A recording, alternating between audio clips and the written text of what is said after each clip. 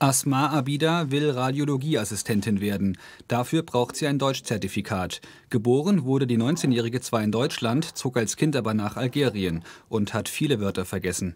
Für ihre Ausbildung ist sie jetzt zurückgekommen. Hier bei der gemeinnützigen Organisation Bildungsprofis in Frankfurt will sie ihr Deutsch auffrischen. Also ich finde es sehr gut, wenn wir so alle nicht so gut Deutsch reden. Alle lernen wir ja und da fühlt man ja sich ein bisschen besser. Nicht so wie alle kennen gut Deutsch und du nicht, ne? das ist dann besser. Denn 100 Frauen lernen hier Deutsch, vor allem für Berufe im Gesundheitssektor und werden fit gemacht für die Jobs, für die so dringend Personal gebraucht wird.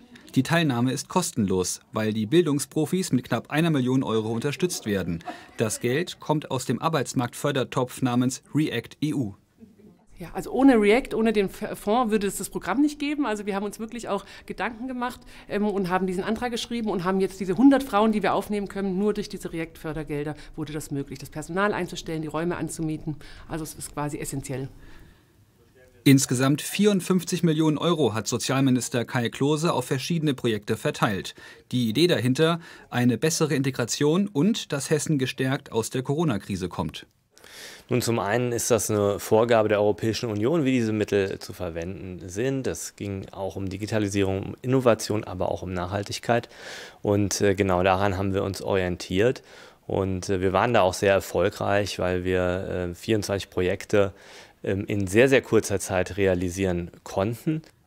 Allerdings sind die Fördergelder und damit auch die Projekte auf ein Jahr begrenzt. Das kritisiert die Opposition. Ein Jahr ist zu kurz. Also wir wünschen uns, dass das Land genau hinschaut, guckt, was haben die Projekte gebracht, waren die erfolgreich und wenn die erfolgreich waren, dann wünschen wir uns langfristige Förderung. Doch auch längere Ansätze wie die Sprachförderung alleine reichten beispielsweise in der Pflege nicht. Das hätten bereits andere Projekte gezeigt, meint der Pflegeberufsverband. Dass dann Kolleginnen auch wieder abgewandert sind, weil sie eben in unserer, mit unserer Situation in der deutschen Pflege einfach nicht zurechtgekommen sind. Also im Ausland ist es beispielsweise nicht üblich, dass man so viele Patienten pro Pflegefachkraft betreut wie in Deutschland. Asma Abida freut sich aber über ihren Deutschkurs. Schon im September will sie hier in Frankfurt ihre Sprachprüfung ablegen.